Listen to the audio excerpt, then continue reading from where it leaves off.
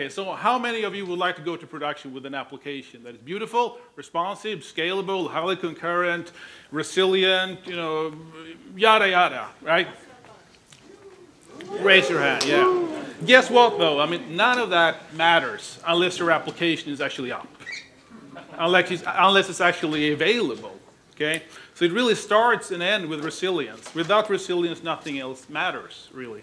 And that is sort of the, the, theme for this, for this talk. Most of you probably recognize this song that I tried to have like sort of the, sort of the soundtrack for this talk. That is, that is sort of the first, uh, anyone know, know it by the way? Uh, of giving, give, uh, give, I'm giving you some hints here. It's from the first uh, Rocky movie, the, the, the theme song from some, some, from like in the 70s. And you know, Rocky is about this underdog. Uh, you know, he, they call him the Italian stallion. He gets a shot at the title and, uh, you know, it's uh, one of the most memorable quotes from this, from this series. But it ain't about how hard It's you hit. one. It's about how hard you can get hit and keep moving forward. How much you can take and keep moving forward. That's how winning is done. And you know, this is fault tolerance. It's really, I mean, you will take a shot, right, and, and, and you, you might limp along, and hopefully, eventually, you will win, right? But it's really, that's not really a sustainable strategy. Fault tolerance, even though we, we, sort of talk a lot about it in, in computer science and so on, it's not really a, a sustainable strategy. I really believe that we need, we need, we need to think beyond that and, and, and, tr- and try to strive for resilience. Resilience is really something that is beyond fault tolerance. It's not just to like, you know, get hit and limp along and bleed some and, and hopefully, I mean, you will win anyway, right? So, so, so in this talk, I'm going to talk about and try to dive down to what, what resilience really, really means. Why it looks like for like what it is, why it's needed, how we can learn from other sort of fields of science and industries, and, and how they sort of manage resilience. You know, our, our industry as in computer science is, is, re- is really, really young, and we have a lot to learn from many other industries, like in, and, and, and fields, and also like from nature, like it's been around for, for billions of years or millions of years, depending how you, how you look at it. So, so what is resilience? Uh, Mer- Merriam-Webster, the online dictionary, uh, sort of de- defines resilience as the ability of a substance, an object, to spring back into shape, the capacity to recover quickly from difficulties.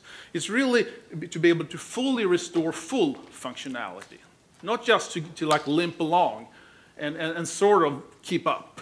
It's really to, to heal fully and be able to, to, to go back to where you were before you had a failure or an outage and so on. Not just survive. And you know, systems today, they are incredibly complex. I mean, software systems. And these are just two sort of images that were circling around the, in, the internet the last uh, like six, six months. It's like from the Netflix, the, the Netflix and the Twitter architectures. And, and I really believe that software systems in general are incredibly complex. And I think that we need to, we have a lot to learn like, from studying resilience in complex systems and, what, and, what, and, what, and really what that means. So, first, what is complex and how is it different from, from, from complicated?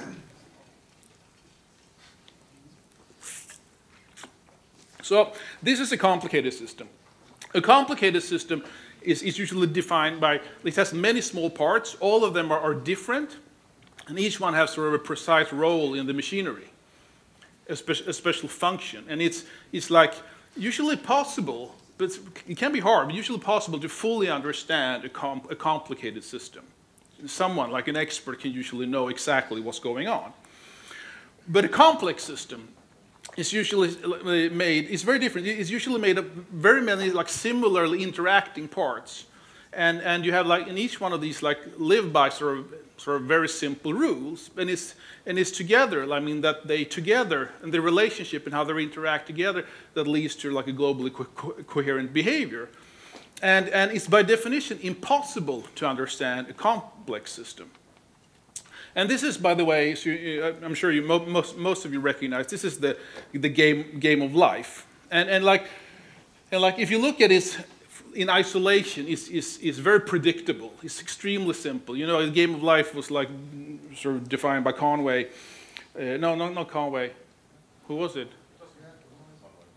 Yeah, yeah, it is Conway. Yeah, uh, And, and, and it has a very, like, very, like, think four or five sim, very, very, sim, simple rules. But when you put them together and they start interacting, like in this, like, complicated uh, version of it, it, it, it really, real, I mean, it, it becomes almost completely unpredictable and completely impossible to understand. So this is really a good example of a complex system. So complicated is really not equal to complex, even though we often like confuse the terms, and I've, did, I've done so myself. And it's, and it's, and it's, so this is probably the most important sort of piece of knowledge that I learned when doing research for, for, the, for this talk. I found this in this great paper, How Complex Systems Fail, by Richard Cook, where he said that complex systems run in degraded mode. Complex systems, they always run as broken systems. Because in a, in a, in a non-trivial complex system, something is always failing somewhere. That's a fact. I mean, we just need to accept that. And that's why I think we need to like rethink how we deal with failure and need better strategies to deal with it. And as, and as, I, as I will come back to many times in this talk, there's nothing exceptional about failure. Even though I mean Java and C and C++ and C, um, C Sharp, Scala, we call them exceptions, but there's really nothing exceptional about failure. It's something natural. And if you think about it that way, it, could, it will completely change the way you deal with it because then you design with, with the, you know, the fact that failure is something that will happen and, it, and it's natural. And, and, then if you end up in that state, the, the failed state, if you have planned for it and have a good, it's like part of your workflow really, and how it's predicted that to happen, then you know exactly how to get out of it, right? You, you, you're in the start phase, you, I mean, you, you, you might get resumed, you might get stopped and upgraded. Now you're in the fail phase. I mean, no problem. You know exactly how to get out of that. And there's nothing exceptional about that. And it, another thing is like humans just usually just makes it worse. And, and, and this, is, this is from a, a great paper called Leverage Points by Donella Meadows. And he, you know, she's, she's, she's one of the experts, she was one of the experts in, in systems thinking. And, when, and she writes about I mean, points for human intervention, where humans like go in, you know, turn the knobs in a complex system. And I'll, this is a, a quote from that paper. And I, and, I, and I quote, counterintuitive. That's how Jay Forrester's word to describe complex systems. Leverage points are not intuitive. Or if they are, we as humans intuitively use them backwards, systematically worsening whatever problems we are trying to solve. And the reason is simply because, you know, as she says, they, I mean, we as humans are not used to think about things like this. I mean, we, we usually just make things worse by, by, by trying to fix things. So I really believe that we need good models to think about failure and, and, and, and, and, and also how to deal with it. And, and I, I one model where I, I think was really good for to explain this, this sort of the, this, the psychology for, around, around failure when it comes to humans was this model that I learned from also from Richard Cook. It's a couple of links here. By the way, I have all the links at the end of this of the session if you want to dive down deeper or, or just check facts.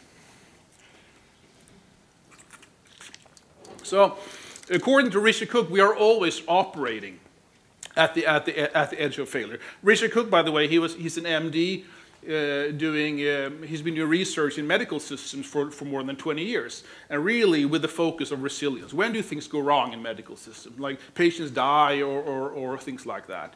And how can we prevent and learn from that? Okay?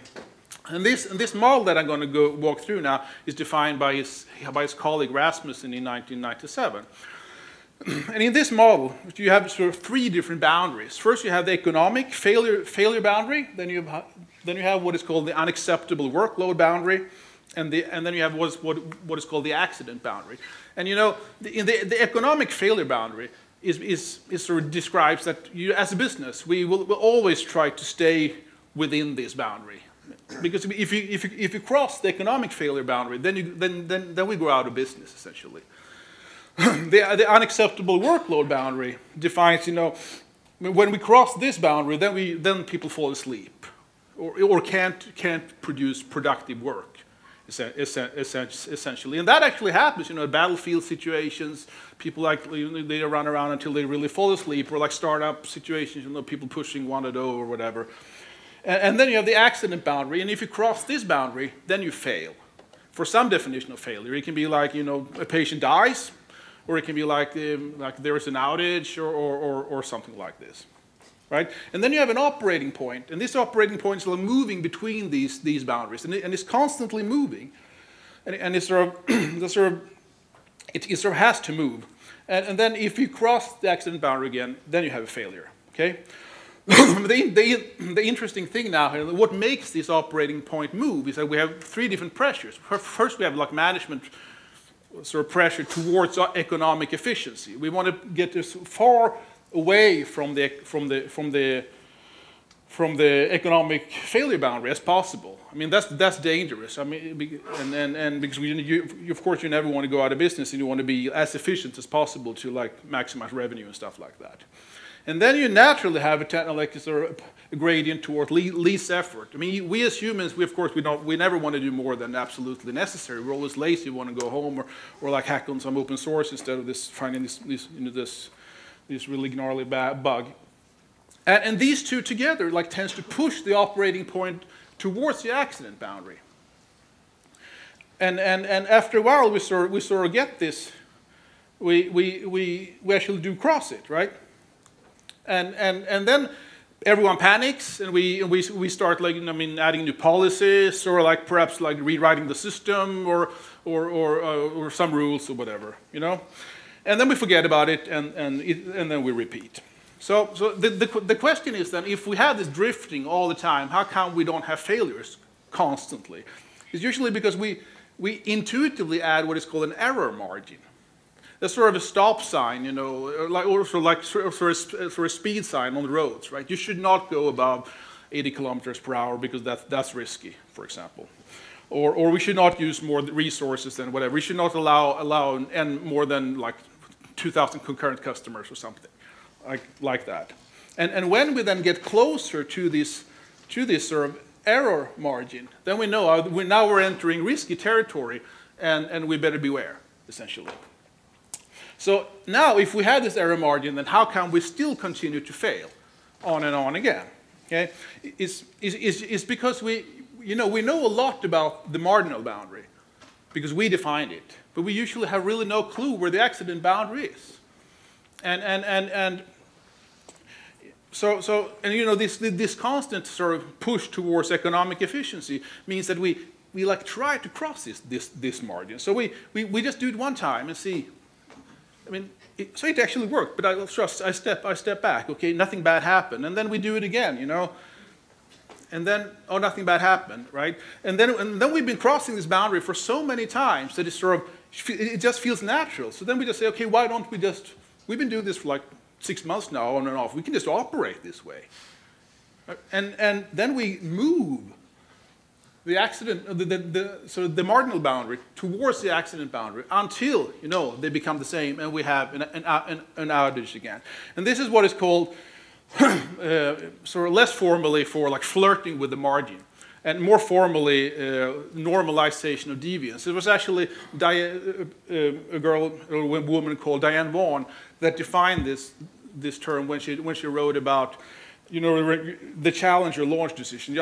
Most of you, the people that are as old as me at least, remember, you know, the Challenger rocket ship that sort of blew, blew, blew up. And the reason was essentially that the marginal boundary was like pushed so, so close towards the accident boundary that it crashed and people died. So this was sort of a, real, a really nice model for me to understand how the sort of the psychology for failure and how come we, we get that all the time. So now, if, if, if, if software systems are so incredibly complex, then, and, and, and complex systems always run as broken systems, and we always operate on the edge of failure, then I believe that we really need to learn to embrace failure, as I said. It's nothing exceptional about failure. It's something natural. We need to design for failure and find nice way of, managing it. So really, the most fundamental lesson really that I'll try to teach you today and that I learned the hard way is that resilience is by design. It's really nothing that you can bolt on afterwards. Like, like I've done way too many times, or like turn on, look, you know, WebLogic clustering or something if you run an app server and just hope for the best, or like bring in some other tools. You know, we all, way too often in our industry, we just try to fix things but it's adding stuff. Like, yeah, like more and more and more and more stuff. And then things like fail. I mean, why are we even surprised, right? I mean, I, like probably failed from the pressure of all this stuff, right? The building collapsing. This is, I think, this is one of my favorite pictures actually uh, in this in this whole slide deck. is is is from this home in Gilchrist, Texas. It was designed to dis, to like resist floodwaters, and it was one of the few houses that survived Hurricane Ike. It was one of you, one of all these hurricanes they have in the U.S. Uh, in 2008. And it's really, as you can see, I mean, it's really designed for, for, for failure. It's resilient by design. So let's now take a look at how, how some, some other like fields are, are managing fail, failure uh, and how, what, we can learn, what we can learn from that. So first, starting with resilience in, bio, in biological systems.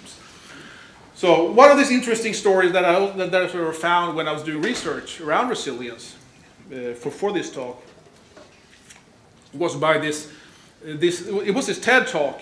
Look it up afterwards. Take a look. I think it was a really interesting one. It was this guy called Nicolas Perony. He talks about complexity theory, and he, he's doing research on animals and how animals like, behave. And it, this story was, was about these, these, these meerkats and, and, and, and, and how they naturally sort of gravitate towards the resilient behavior.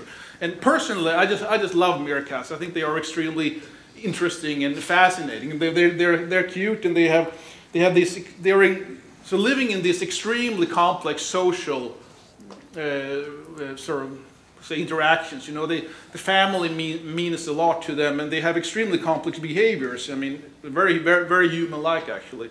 And one, one of them is that it's, the, only the dominant couple in the group that is allowed to get babies, actually. All the other ones should, should just work as servants. So like, like babysitters, essentially. Well, I don't know what, what, what, what the parents do then. I mean, they're probably having a good time.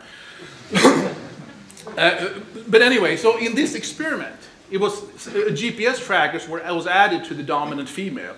And, and the whole group was, was observed moving from one feeding place to the other one. And, was, and there was a road in between. And, and, and, and, the, and it was observed that it was, it, was, it was a dominant female that sort of led the group up, sort of on for like forward until she reached the road, and then she stopped, and she, she and then she like waited for for the, for her sort of servants like to, to try to cross the road for him for her, right? And see, I mean, are they doing? Did they like make it okay, or were they like like run over by a truck? No, everything went fine. Okay, then I can cross, and then the whole group crossed, right? And it's actually, I mean, it's, it's really fascinating because nature sort of developed this over thousands of years. You know, you know the, the dominant female is extremely important to the group. If she dies, the whole group is at risk because she's the only one that can have babies. And, and, and, and, and, and sort of this, this sort of pattern or ideal, like delegating dangerous work to subordinates is something that I think we can learn a lot from. And I'll come back to that later when I talk about software. So, and, and, and, and Nicolas Perony, he sums up his TED talk with this, with this quote I also think is really interesting. In three words, in the animal kingdom, simplicity leads to complexity, which leads to resilience. It's really a cry out for simplicity, more simple systems. And through that, I think we have a better chance of, re of really architecting resilient systems. So the, the other example I wanted to go through was resilience in social systems. This, this uh, was from a paper that was sent to me by a friend uh, that's, that's, that's, that's, doing a lot of you know research and work in like like environmental um, like you know so resilient systems you know in in in in, in the sorry, in the environment and and and, uh, and, and that type of things and it's from it's from a, if you want to look it up it's called dealing in insecurity by Bennett and Gupta here and and it's really about there are six ways to die essentially and these are the, the pie slices here. Like you have hunger, being too cold, too hot, injury, illness, or thirst. These are the six ways we, we humans can die. Okay? And then you have three sets of essential services that protects us from dying. We have, we have, we, we have shelter, that, that, that, that, that protects us from being like too hot and too cold. We have supply, you know, stuff, that, that protects us from, from dying from hunger or from thirst. And then we have safety that, that, that prevents us from illness, Ill, illness and injury. And these services are laid out in layers. Right? This is like our, the world we live in today, like everyone. We, don't, we just don't think about it like this. So we have seven layers of infrastructure, seven layers of protection that protects us, us from dying. From the, from the top one here, we have the first we have the world. You know, that's like things like markets, like energy markets, food markets, fuel markets. Then we have the country. It can be like the you know the military.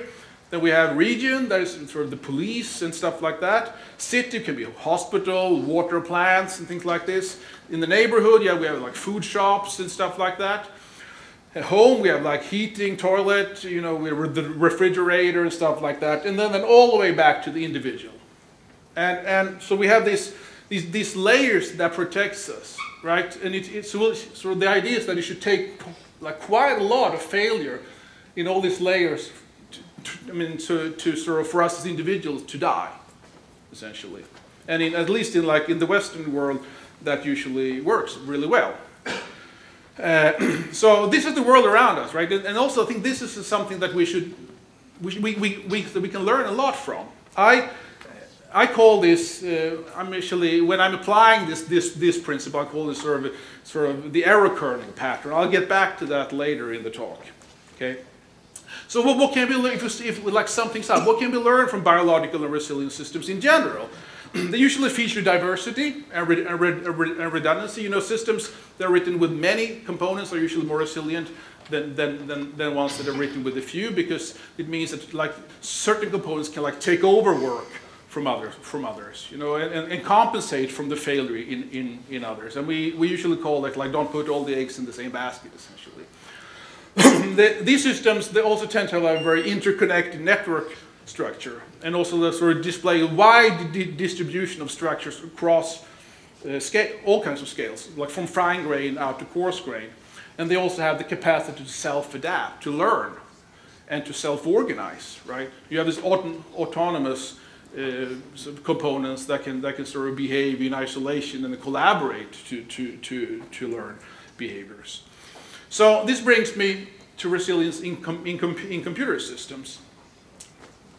So unfortunately, I mean, most of us, sort of most, very often we, I mean, I've seen people react like this. Of course not you, right? But, but, but, but um, all other ones, or the other people. you know, like first not at all, and then we like complete panic you know, freaking out. And, and I really think that there's reason for this, because we really fundamentally need to change the way we think about failure. Uh, again, like failure is inevitable, right? It will happen. It's something natural, once again. Nothing exceptional. We need to design for failure and learn to manage it. And, and, a lot of people here probably heard about you know the let it crash philosophy. It was like popularized by Erlang and, it's a great model to, to, to work if you work reactive systems that I, that I do. I mean, Erlang and Akka sort of embrace that.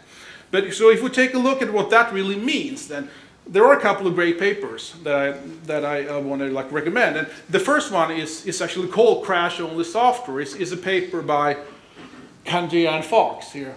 And, and, and, and, they, and they, they, they present this really simple idea, you know, that, that sort of stop is essentially just crash but crash safely.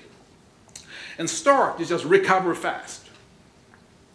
Okay, so, so, and, uh, uh, uh, so embracing this model gives you a really nice, sort of, sort of, sort of easy way to deal with failure. It's sort of a sledgehammer, you know, like bang, and then we're, and then, and then we're back up. But I really believe that that sort of philosophy is something to really have, to have, to have in mind.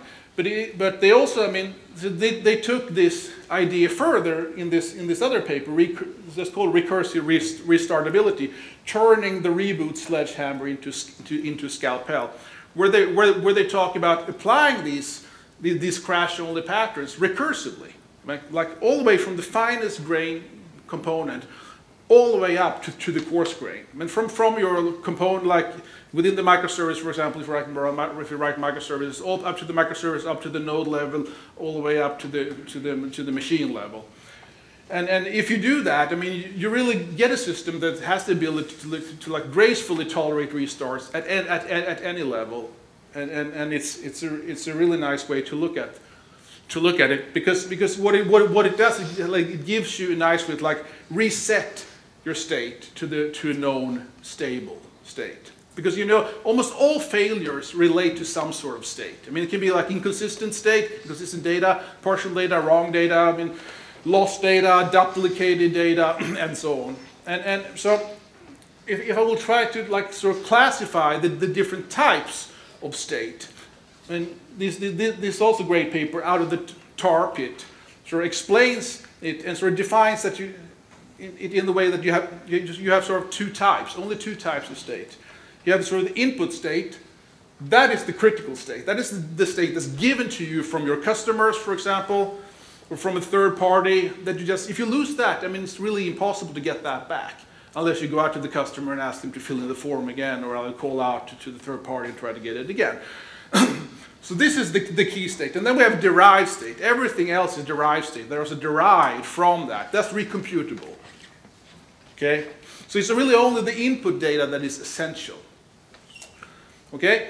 So now in traditional so state management, if I would try to like draw here in, sort of an orbit graph, and the, the legend here says, so, the, the white ball here is sort of the client, and the blue ball here is sort of an object, and this, this square, red square here, that's critical state. the state that you can't lose.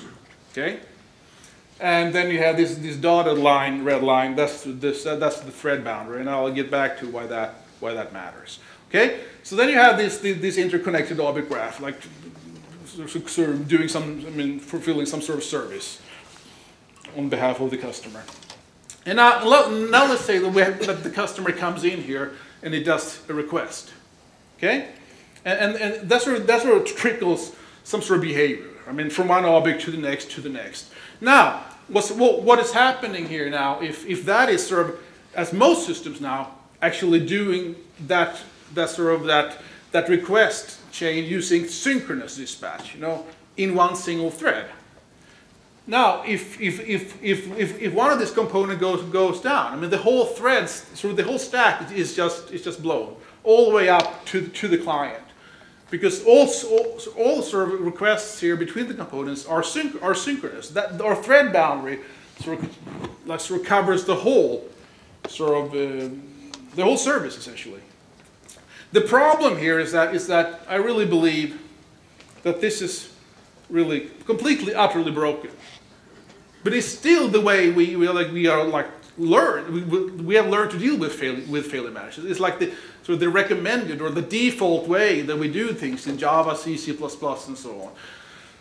and the, the problem is that since this thread, you know, that we're using now for computation is the only context we have, we just need to hold on to it so hard because it's the only thing we have. So because if we, if we, if we don't, if we lose it, you know, we lose all context about the failure or what's actually what was going on in the system. And, and, and, and, and this is why, you know, we need, we need to essentially add try-catch statements everywhere. Because something can go wrong everywhere in the system. And we always need to be ready to, to grab that failure and, and because else the failure is lost and the whole context of the computation is lost. And this, and this leads to extremely defensive programming, with, you know, with, with the business logic is, is sort of completely tangled with, with, with error handling. And, and that's usually scattered across the whole application. And I really, really believe that that's completely wrong. I mean, I mean, there are a lot better ways to, to do this. And so I said, look, we can learn a lot from nature and from other sciences in order to do that well. And I really believe that some structure here can actually bring sanity back. Because as, as, as Sidney Dekker said in this, this, in this, in this great book, is that accidents come from relationships, really, not broken parts. And I really believe that the requirements for, for like a sane failure mo model, not mode, should be model. Yeah, anyway, same failure model.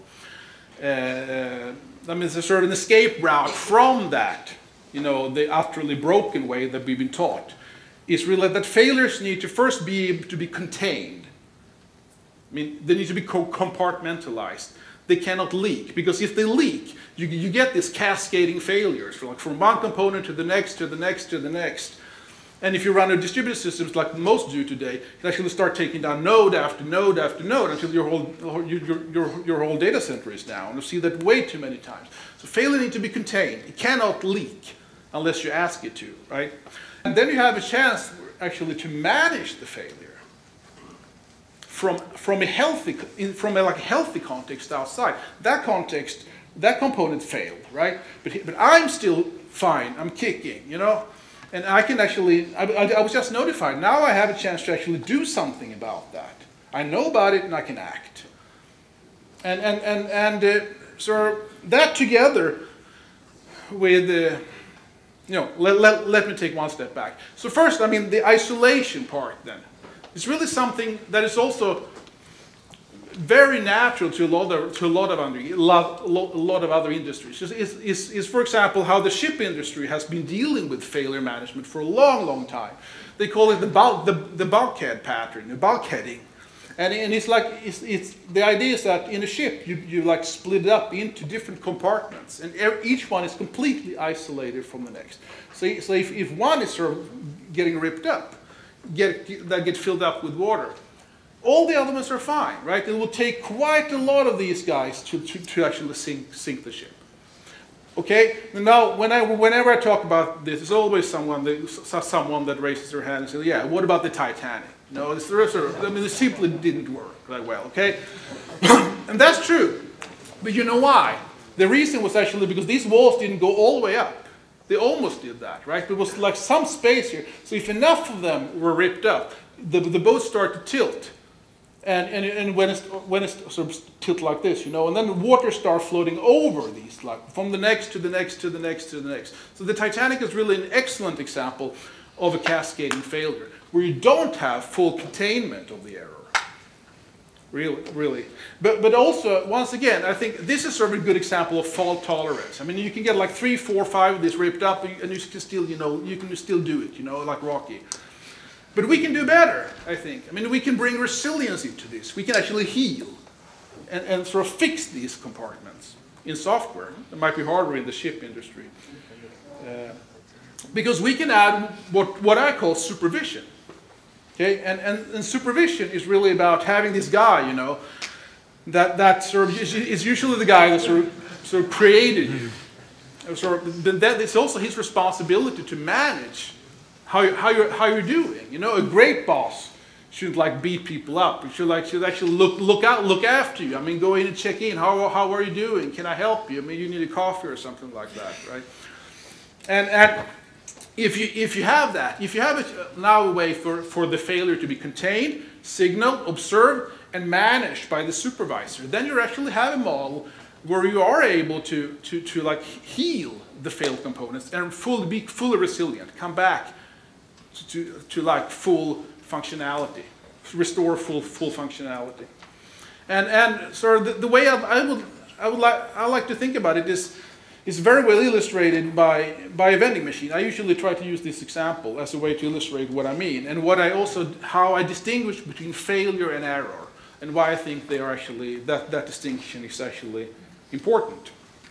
So think that you have, that, that you have this, this vending machine now. Okay, and, and you have a programmer, he like, yeah, he's been hacking all day and he's for like 20 minutes and whatever, and then he's really eager for his coffee. So he walks up to the coffee machine and he inserts like, for example, one Swedish kroner, okay? I don't know, what is this, the current, that's euro, right? Yeah, so I don't know, 20 cents or whatever it might cost.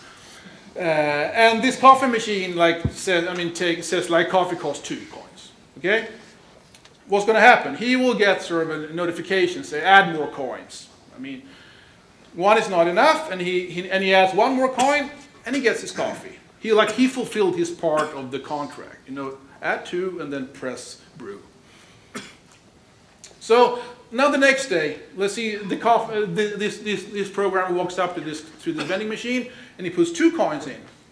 And now, let's see, he gets an out of coffee beans error thrown in his face, right? This is not the way it, it, it I mean, the, actually a coffee machine works, right? I mean, what should the what, what should this poor programmer do? I mean, there's no coffee. Are they like behind behind the coffee machine? Are there like is there like some some some storage around the corner or something? I mean, what should he do? I mean, he can't do anything useful with this information, right? Or or if like if they order water or something like that.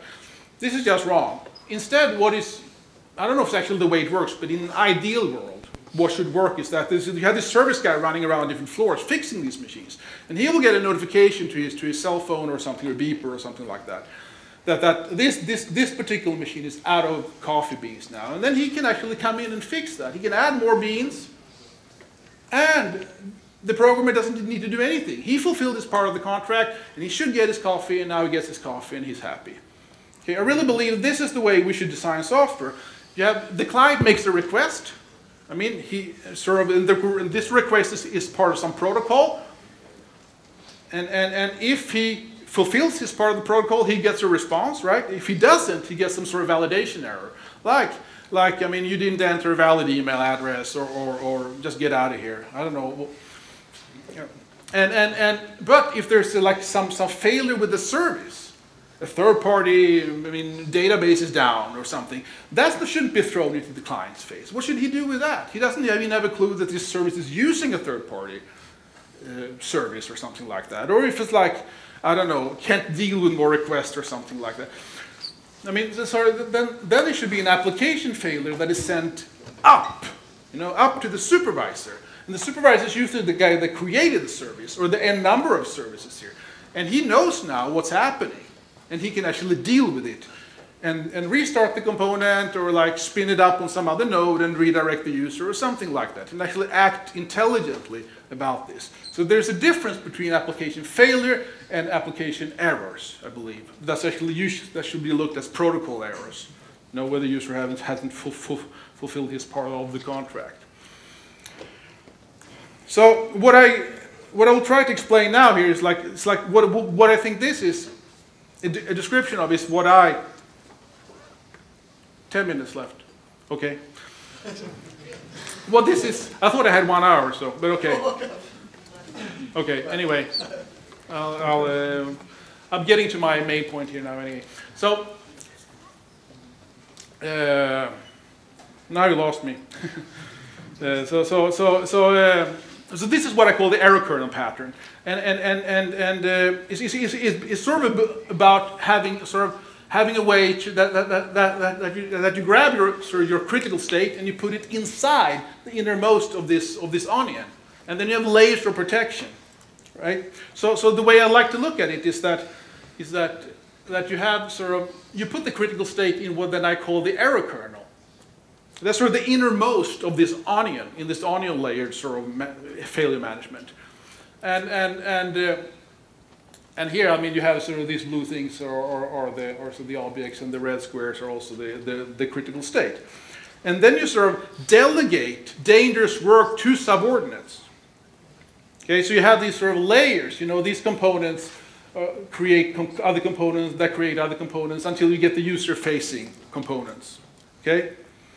And, and, and now, if, if the important thing is that each one of these components now need to run in its own thread. So you have the thread boundary here is like it's actually around each one of these of these components. This means that if if if a, if a client comes in and, and, and, and, and does a request, and this component fails, it sort of fails completely in isolation. It doesn't bring anything else down with it, but but a, a notification is sent to its supervisor. Still, the client still doesn't have a clue. He, he, he fulfilled his part of the contract. Everything is fine. Okay. And, and now this, this, this, this, this supervisor can, can, can just restart this component, re, I mean, re, resubmission the request here, and, and return the state to the client. And, and the client's happy. But, but, the, the, but, but yet again, the key thing to get the model like this, where the system is actually able to heal while it's running, without the client even knowing that it's actually doing that, is, is the ability to signal failure. I mean, first, the ability to contain it in a, in a single thread boundary. I mean, having each component run in a, in a sort of an isolated box in a thread.